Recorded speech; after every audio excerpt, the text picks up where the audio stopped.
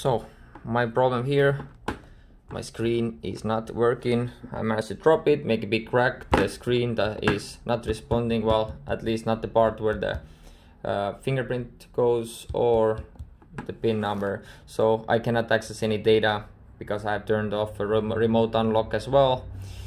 Stupid of me. So uh, somebody came up with this kind of product and suggested it to me. I went ahead. Uh, Best Buy sells those for $9.99. It's a USB to a Type C uh, connector here. I have hooked up my wireless mouse. This one here now helps me to get into my phone. We go.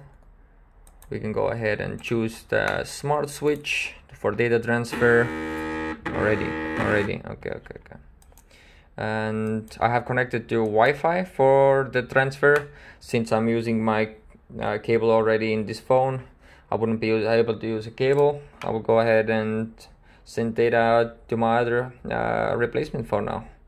So if you guys have a problem you can't access your phone. You still need your data. Your screen is kind of functioning. You can go ahead check the USB type A to type C adapter and you can uh, go ahead and use a mouse to control your phone.